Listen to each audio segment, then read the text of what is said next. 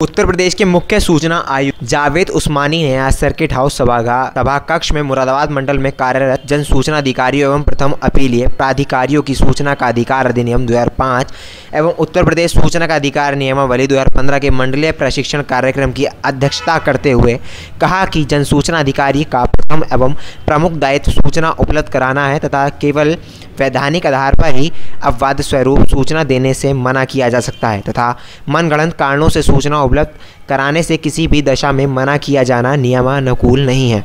और स्पष्ट किया कि कोई भी आवेदन निरस्त करते हुए समय जन सूचना अधिकारी अधिनियम की धारा आठ, नौ व चौबीस एवं न्यायावली दो हज़ार की धारा को दृष्टिगत रखते हुए ही कोई आवेदन निरस्त करें। उन्होंने कहा कि आईटीआई एक्ट शासन व प्रशासन की कार्यप्रणाली में पारदर्शिता व जवाबदेही लाकर भ्रष्टाचार को लगाकर सुशासन एवं गुड गवर्नेंस लाने का एक शक्तिशाली माध्यम जिलाधिकारी राकेश कुमार सिंह ने कार्यशाला के समापन पर धन्यवाद ज्ञापन में कहा कि शासन द्वारा जन सूचना अधिकारियों को प्रशिक्षण दिया जाना एक सराहनीय कदम है तथा इससे आरटीआई एक्ट की विभिन्न भ्रांतियाँ दूर होंगी।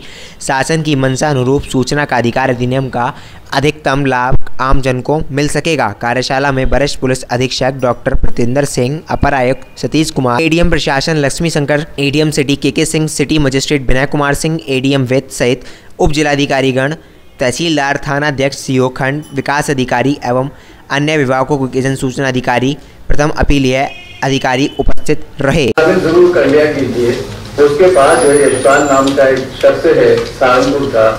उसके बाद जो है कई बीघे ज़मीन है। और उसने जो है बीपीएल कार्ड ले रखा है। बहुत से लोग ऐसे हैं जो इसका मिसयूज करते हैं।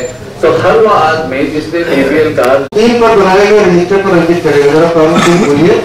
और इसको अपने जो बुकलेट लीजिए। ये बहुत प्रारूप तीन के रजिस्टर का क्रमांक है।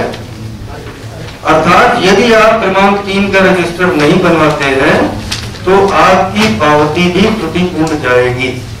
दोनों इंटरकनेक्टेड कर लीजिए।